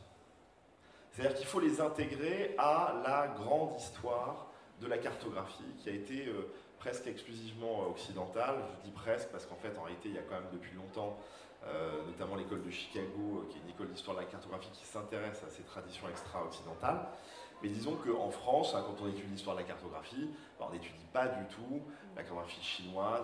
Alors qu'en fait, eh bien, cette cartographie, si on, retient uniquement le critère euh, la scientificité, c'est-à-dire par exemple les points de correspondance avec Google Maps, voyez, eh bien, elle est bien plus scientifique que la cartographie chinoise du XIe siècle, du XIIe siècle, avec la fameuse carte de Yu euh, de 1137, qui est la carte de tout l'Empire chinois, qui est gravée, qui est une carte sublime, qui en fait correspond quasiment parfaitement, enfin, en réalité, il y a 48 points de jonction avec, Google Maps, mais si vous voulez, euh, il faut, pour, avoir, pour que l'Occident, c'est-à-dire l'Europe, atteigne ce degré de précision, il faut des cartes post-Cassini, c'est-à-dire second XVIIIe siècle. On est en 1137. Donc même ça, si vous voulez, du point de vue de nos propres repères, parce que, évidemment, ça, on pourrait dire que ce sont des, critères étroits, euh, parce qu'en réalité, il y a d'autres formes de scientificité. Hein, par exemple, représenter sur une carte à la fois le monde réel Et le monde des morts et le monde des dieux, par exemple, ça peut être considéré comme aussi une avancée extraordinaire. Vous voyez, il y a d'autres. Bon. Mais euh, voilà, c'était un exemple pour dire que ces, ces rencontres-là peuvent être extrêmement fécondes, à la fois pour les universitaires comme pour les, euh, les, les professionnels des musées. Et ce que vous dites peut-être ouvre bah, la question que vous vouliez poser euh, sur la fin, sans doute vous Théo qui la poserez, sur la, la perspective et la mise en perspective euh, sur ce quoi va, tout ça peut ouvrir. Et je pense qu'il y a beaucoup de choses qui Merci. Alors en effet, on, va, on aimerait euh, peut-être conclure, euh, j'imagine, euh, au, niveau, au de l'heure, euh, sur la question du musée universel, hein, par laquelle vous avez finalement inauguré la, conférence du jour. Alors, en avril euh, 2023, donc l'ancien président-directeur du musée du Louvre, Jean-Luc Martinez, a remis son rapport Patrimoine partagé, universalité, restitution et circulation des œuvres d'art, dans lequel il vient finalement réaffirmer son attachement au principe d'universalité, également d'inaliénabilité des collections. Euh, Vous avez récemment euh, animé euh, un épisode de la série Produit pas de Dominique Leforêt sur France Culture, l'art et le musée, dans lequel justement vous abordez le musée universel, donc l'idée donc du musée universel comme une utopie, hein, comme vous l'avez évoqué précédemment. Peut-être la question que l'on peut se poser aujourd'hui, il y a une véritable irritation aujourd'hui lorsque l'on aborde effectivement ce type de problématique, avec votre position d'historien, finalement, Comment aborderiez-vous finalement le, le sens de ces irritations dans notre rapport au musée dans un premier temps et plus largement à la société? Waouh, ça c'est une question. Ah oui, oui. là aussi une question, euh, une question très importante pour les années à venir. Euh, le- le- en fait, l'idée de musée universel, me semble-t-il, commence à susciter euh, de très fortes critiques en 2002, à la suite de la publication d'un document euh, signé par les plus grands musées du monde, euh, euh, document sur la valeur du musée universel. Donc vous avez là euh, tous les plus grands musées du monde occidental qui expliquent que le musée universel est indispensable et qui, euh, de manière très euh, stratégique, au fond, tente d'anticiper euh, de futures demandes de restitution et des remises en cause hein, de ce principe de l'universalité. Alors depuis, il y a eu toute une série de, critiques euh, qui sont euh, souvent, enfin qui sont intéressantes, pertinentes, euh, justifiées, parfois caricaturales. pour moi, la, critique la plus, disons, la, la- plus, forte qu'on peut adresser à ces musées universaux, eh c'est qu'ils sont tous, à une seule exception près, localisés dans le monde occidental, c'est-à-dire en Europe au sens large euh, et en Amérique du Nord. Bon, alors il y, a- quelques autres tentatives, et puis il y a un grand exemple dont on, peut parler, qui est le Louvre Abu Dhabi, euh, qui est le contre-exemple. Euh, mais ça, c'est le premier, c'est le premier, pour moi, c'est le principal défaut, c'est-à-dire que si ces musées universaux existaient partout, eh bien, au fond, bah, je, je n'aurais pas de critique véritablement à formuler. Pourquoi? Parce que le musée universel, c'est un- une idée qui naît euh, avec le Louvre et le, British Museum, en fait, hein, on en a parlé à l'instant, euh, avec le musée encyclopédique, avec l'idéal des Lumières. Alors, l'idéal des Lumières, on peut le critiquer, euh, évidemment, mais ce qui est intéressant avec cet idéal des Lumières, ce musée encyclopédique, c'est qu'en fait, il apparaît en fait quelques décennies avant la multiplication d'une autre forme de musée, des musées qui vont dominer le monde à partir du 19e siècle, qui sont les musées nationaux ou les musées locaux. Et ces musées locaux et ces musées nationaux, ils ont toutes, euh, enfin, ils sont, ils euh, euh, légitimes. hein. Ils sont légitimes, mais ils ne, traduisent pas la même vision du monde et, le même rapport à l'art. C'est-à-dire que la puissance du paradigme du musée universel, c'est de dire. Euh, alors là, je mets de côté les prédations, je mets de côté les restitutions, etc. Parce qu'évidemment, c'est très important, on ne peut pas faire fi de ça. Comment se sont constitués les musées universels et leurs collections Mais là, je parle du principe même. Et ce principe même de musée universel, c'est-à-dire de donner à voir euh, la diversité euh, des cultures et des arts du monde entier, eh bien, c'est quelque chose qui s'oppose précisément au paradigme national ou local, en considérant que, eh bien, il est important de sortir de soi-même et que euh, euh, euh, ces, œuvres du monde entier sont, sont- sont au- autant constitutives de nous, au fond, qu'un art qui serait proche ou un art national. Et ces musées universaux, sans le savoir au début, mais aujourd'hui c'est totalement assumé, se fondent sur le principe, au fond, de l'histoire globale de l'art. C'est-à-dire qu'en fait, l'art n'est pas national. L'art est par définition le produit de transfert, de réappropriation, de réinvention, y compris ces écoles dites nationales qui viennent d'ailleurs et qui mènent ailleurs. Donc, c'est au fond, ce, paradigme du musée universel qui est très critiqué euh, rend compte à sa manière hein, de l'histoire de l'art telle qu'on l'écrit euh, aujourd'hui. Et, donc le problème pour moi du musée universel, je le redis, c'est qu'il n'existe pas de musée universel en dehors euh, d'Abu Dhabi et du monde occidental, parce que précisément nous avons, c'est là que réside la, la, symétrie et l'inégalité profonde. Et c'est, je crois que j'en avais parlé avec vous, je crois que le, pour moi, le, c'est drôle, c'est une question tabou qu'on n'évoque jamais c'est le moment où eh bien, les grands musées européens prêteront des antiquités gréco-romaines au musée d'Afrique de l'Ouest. Les prêteront, les céderont, je ne sais pas, feront des échanges. Euh, c'est tellement tabou que personne n'en parle. Et, bon, je parlais de l'Inde tout à l'heure, mais pour, avoir travaillé avec le musée national de l'Inde, c'est extraordinaire. Vous avez là le musée national de l'Inde qui est à New Delhi. il y a beaucoup de grands musées en Inde. Hein. Le musée national de l'Inde, euh, qui est aujourd'hui le pays le plus peuplé au monde, aussi qui est un des pays les plus riches du monde, euh, la Bibliothèque nationale de France ne prête toujours pas d'œuvres au musée national de l'Inde. Je parle de prêt pour des, pour des expositions, pour des conditions d'hydrométrie, etc. Bon, on comprend les contraintes techniques. On les, Mais c'est difficile, on les comprend, on les entend, mais c'est difficile à comprendre. Voilà. C'est-à-dire que le, je crois qu'il y a beaucoup de progrès à faire dans la circulation des œuvres. Alors la numérisation, c'est évidemment une des clés euh, pour les rendre, pour les rendre accessibles, hein, parce que quand on parle de musée universel, évidemment, mais, euh, mais ça ne suffit pas, parce qu'évidemment la force du musée, c'est euh, qu'en fait il n'y a pas de Netflix, il n'y a pas d'Amazon Prime. La force du musée, c'est qu'autant du streaming, il n'est pas remplacé. Contrairement aux salles de cinéma, il n'est pas remplaçable. C'est en ça qu'en fait, il a, encore un bel avenir devant lui.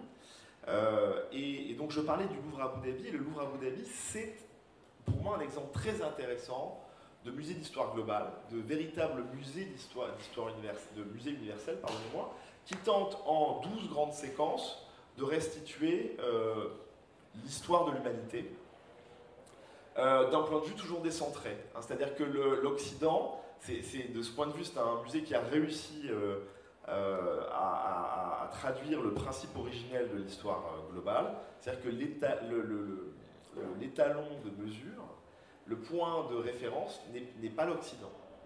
Donc il y a, donc à chaque époque, hein, l'apparition des premiers villages, jusqu'aux modernités du 19e, en réalité il va jusqu'au 21e siècle, hein, le Louvre Abu mais jusqu'aux modernités du 19e siècle, il y a cette idée de mondialisation multiple, d'analyse des centres, etc. Et ça fonctionne plutôt bien.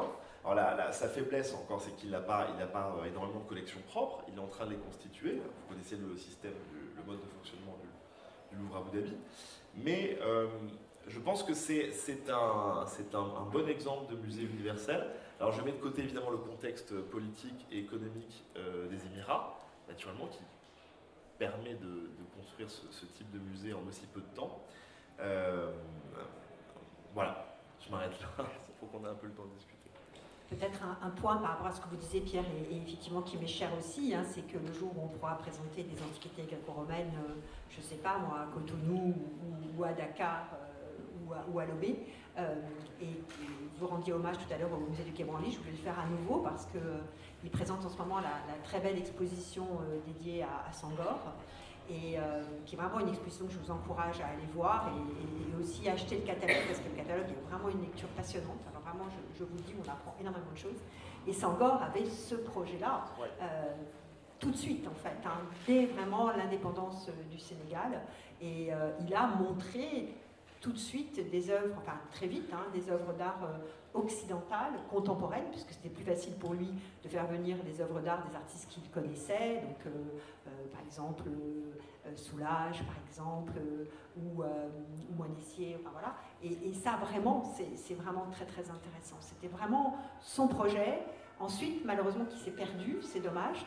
Mais je voulais aussi rendre hommage à un projet qui est porté par le Quai Branly et la Réunion des musées nationaux, qui est une exposition qui aura lieu en 2025, si je ne dis pas de bêtises, au Grand Palais rénové, euh, qui s'appelle Paris-Dakar 1966, et qui est une exposition euh, qui sera présentée à la fois à Paris et à Dakar, dont euh, Yves Le Fur, Malik Ndiaye, Sarah Ligné, dont vous parliez tout à l'heure, et Sarah Fillou Salgas, qui est la directrice des archives du Quai Branly, sont les commissaires et euh, qui montrera justement cette, tentative hein, euh, très intéressante parce que euh, à ce moment-là avait été présenté au Grand Palais des artistes africains, des artistes français, des artistes américains, brésiliens, haïtiens.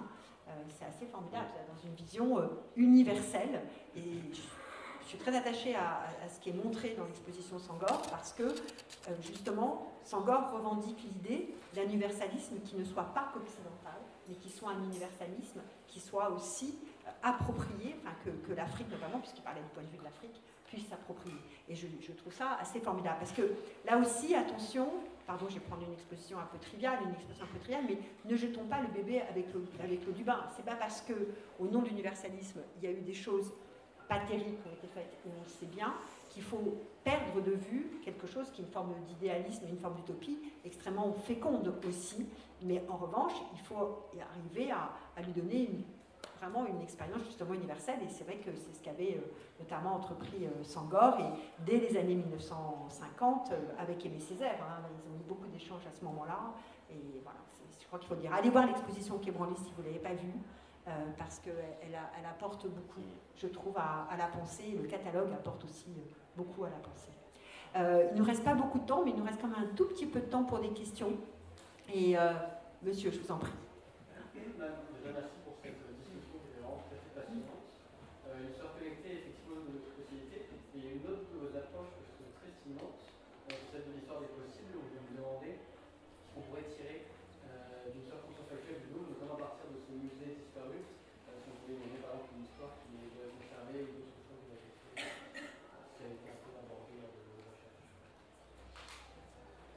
Oui. Euh, alors non, je n'ai pas vraiment mobilisé cet outil euh, contrefactuel dans, le, dans, le, dans les conférences. Alors il euh, y a une volonté de, de défataliser l'histoire dans la, première conférence, qui est le premier chapitre du livre, sur le, Louvre Musée d'ethnologie. Parce qu'en fait, je commence par l'inauguration du pavillon des sessions en 2000, et j'adopte une démarche régressive où je vais remonter jusqu'en 1800. Donc euh, voilà, au cours des différentes sous-parties, je remonte euh, dans le temps.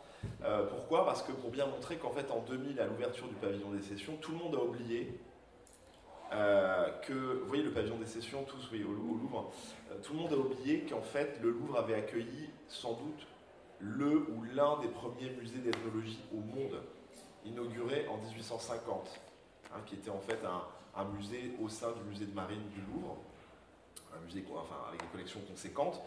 Euh, et donc je, reviens progressivement sur tous les débats au XXe siècle sur faut-il ou non intégrer les œuvres ethnographiques au Louvre. Donc il y a eu toute une série de débats, des numéros de revues consacrés à ça, des débats chez les artistes, ou ça, les dans les milieux euh, de collectionneurs, etc. etc. Et euh, donc j'en arrive évidemment en 1850 à la création de ce musée d'ethnologie du Louvre, et puis je remonte même auparavant, même en 1800, où euh, eh bien, les premiers cours d'ethnologie euh, sont dispensés euh, au Louvre avec des artefacts, des océanias hein, provenant du Pacifique.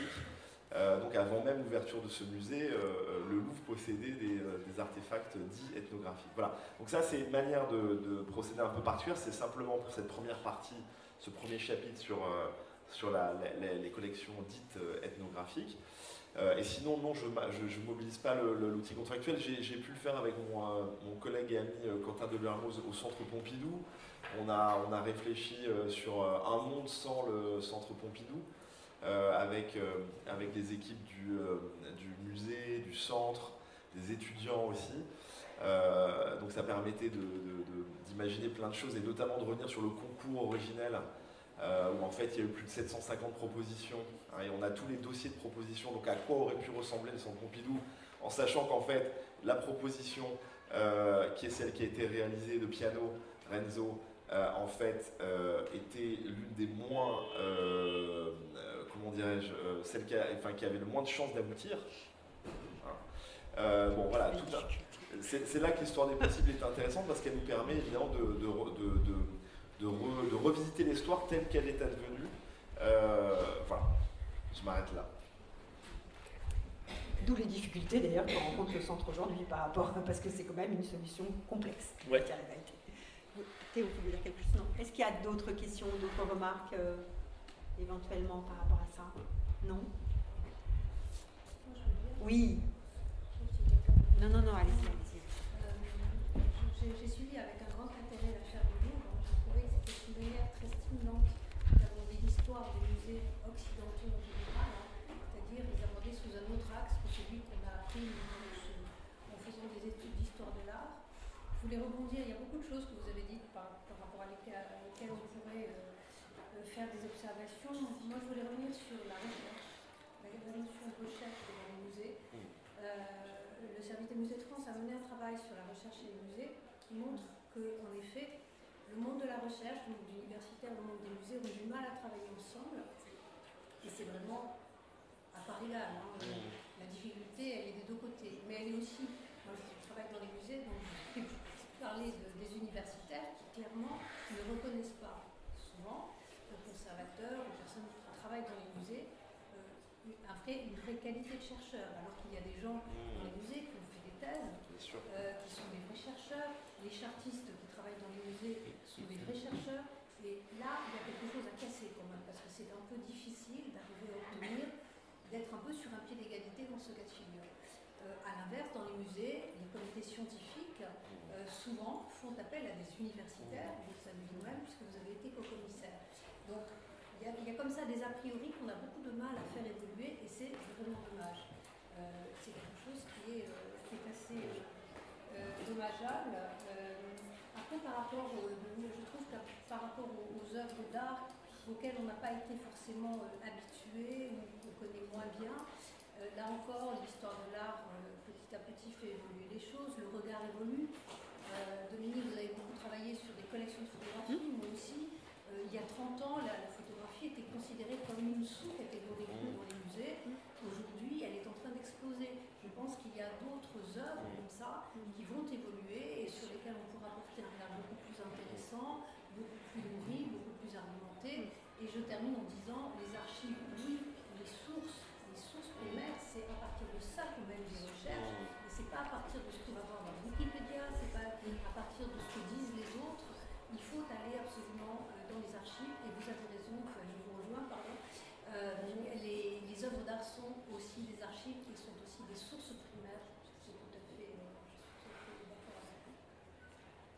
Merci beaucoup pour tout ça. Vraiment, c'était super. Vraiment, merci. Et, euh, je sais pas, Claire, tu veux Merci à tous. Merci beaucoup. Je voulais vraiment, vraiment remercier beaucoup euh, les, étudiants, euh, les étudiants de Sciences Po et, de l'école du Louvre. Hein. Je voulais euh, remercier Anaïs Chatin et la direction des études de l'école du Louvre. Je ne sais pas où est parti notre ami préféré Ludovic Rafali, mais je voulais remercier tout particulièrement Ludovic. Mais Ludovic, quand il est au Festival d'Histoire de l'Art, c'est un espèce de vibrion euh, permanent. Il est partout et nulle part, donc euh, on le voit de temps en temps, on le saisit. Mais je voulais vraiment, vraiment beaucoup, beaucoup le remercier. Je voulais aussi remercier beaucoup aussi l'école d'affaires publiques de Sciences Po et sa spécialité culture, et notamment Florence Botello, hein, qui a beaucoup travaillé sur ce projet. voilà, en tout cas, c'était un joli moment. Et puis surtout, la personne que je voulais remercier le plus, c'est Pierre Fagarod. Merci.